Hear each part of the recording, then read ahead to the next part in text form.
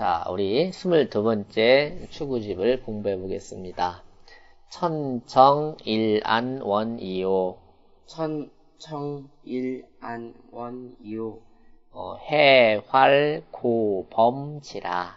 해활고범지라. 음, 여기는 하늘천하고 바다해자하고 대꾸를 만든 거예요. 하늘은 푸르고 푸르러 일안원이요.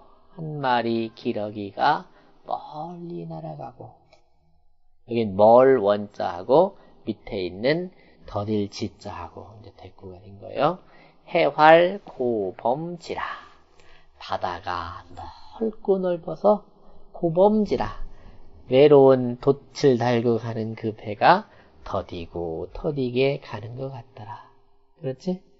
바다가 가까이 보이면 배가 빨리 가는 것처럼 느껴지지만 바다가 넓으니까 배가 천천히 가는 것처럼 보인단 말이지. 마찬가지죠. 하늘이 넓고 넓은 파란 하늘에 어두컴컴해지려고 할 때쯤 됐을 때 기러기 한 마리가 외롭게 쭉 날아가고 있다. 화 발 문장수요.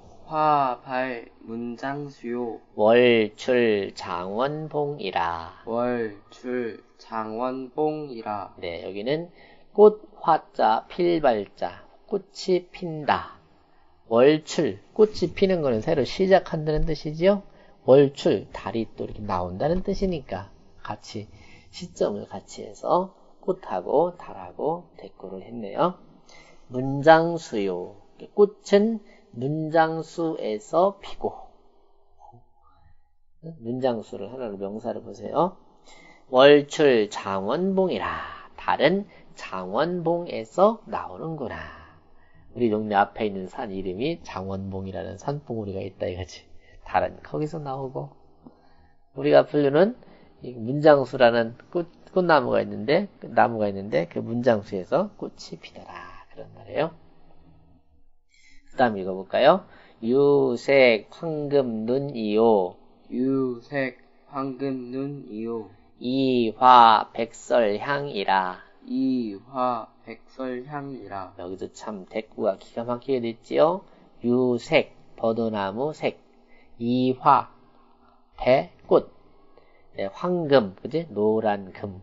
백설 흰 눈. 그죠? 색깔 색채 대비를 한 잘 된 구조예요. 눈자는 예쁠 눈, 고울 눈, 향은 향기롭다 그런 뜻이에요. 유색 황금 눈이요, 버드나무 빛은 황금같이 예쁘고 이게 무슨 얘기냐면 원래 버들잎은 푸르다라고 생각을 하시는데 버들잎이 처음 나올 때는 황금빛처럼 노랗게 피었다가 햇볕을 받으면서 서서히 파란해져요. 이화 백설향이라 배나무 꽃은 흰 거 다 아시죠? 배나무 꽃은 흰 눈처럼 생겼지만 향기가 나더라. 응? 원래 흰 눈은 향기가 없는 거잖아, 그지? 그런데 배나무 꽃은 백꽃은 흰 눈처럼 하얗지만은 향기가 나더라. 그런 말이에요. 그 다음 읽어볼까요? 녹수 구 전경이요. 녹수 구 전경이요. 청송학 후병이라. 청송학 후병이라. 병자는 병풍병자예요. 녹수구 전경. 갈매기가 탁 날아가려고 할 때 앞에 파란 물은 갈매기가 그걸 아마 보고 가는 것처럼 느낀단 말이지. 우리 거울을 보듯이. 파란 물은 갈매기 앞에 있는 거울이고 성송은 학후병이라. 흔히 우리 학을 그림을 그릴 때 뒤에 소나무 배경을 착 그리잖아요. 그렇듯이 파란 소나무들은 학의 뒤에 있는 병풍이더라. 여기도 앞전자 전경 뒤후자 후병 이렇게 대꾸를 한 거지 그죠? 그리고 갈매기 구자 학학자 이렇게 명사 대 명사끼리 이렇게 대꾸를 한 거고 물은 물 물은 물인데 파란 물 소나무는 소나무인데 푸른 소나무 이렇게 대꾸가 된 거죠. 자, 한번 읽어볼게요. 천청이란 원이요 해활구 범지라 화발 문장수요 월출 장원 봉이라. 유색 황금 눈이요 이화 백설향이라.